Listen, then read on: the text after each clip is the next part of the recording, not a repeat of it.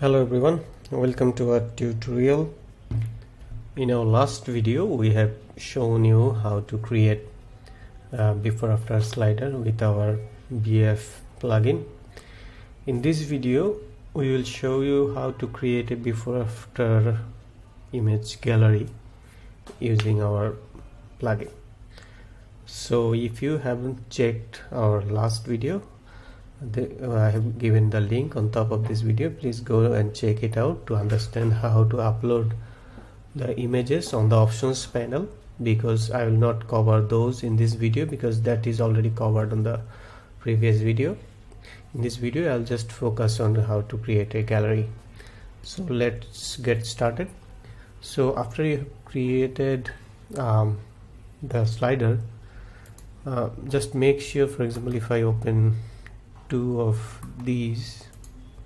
So just make sure there are you have selected the correct category uh, for these sliders. Because if you don't select the categories then you will not be able to create the gallery. So let me select for example city for this one. And for this one we can select um, let's say landscape photos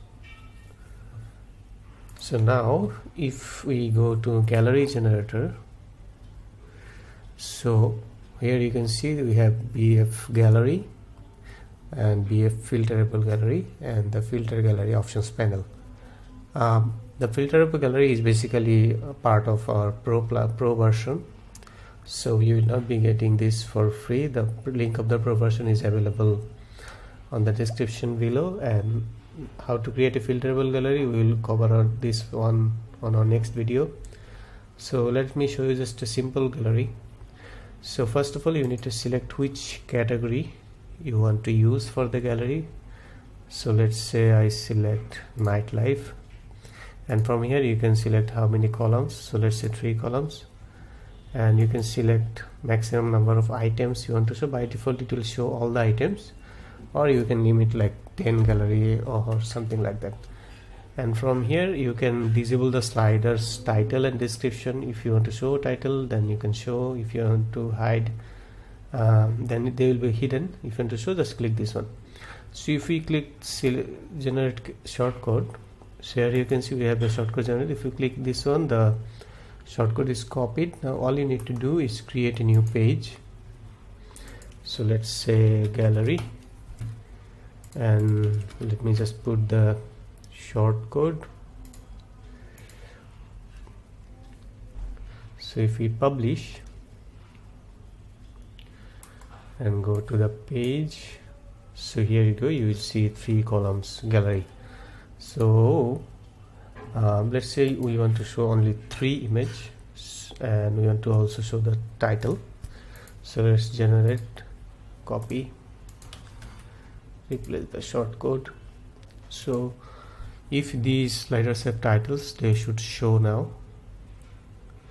I guess none of these have any titles available so let's see.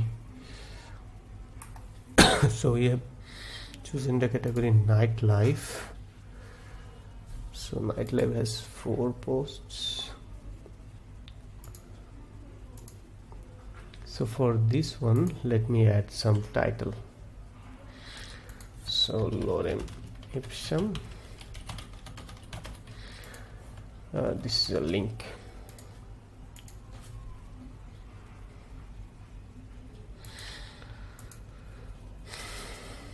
So now you can see we have titles and description so that's basically it. So if you select four columns and if you do if we don't select items and if we update then it should now show four columns.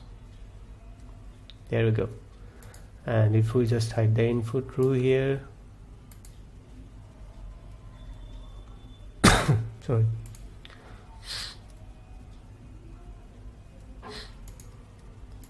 So that's it. Um, thank you for watching our video. Let us know in the comments if you have any questions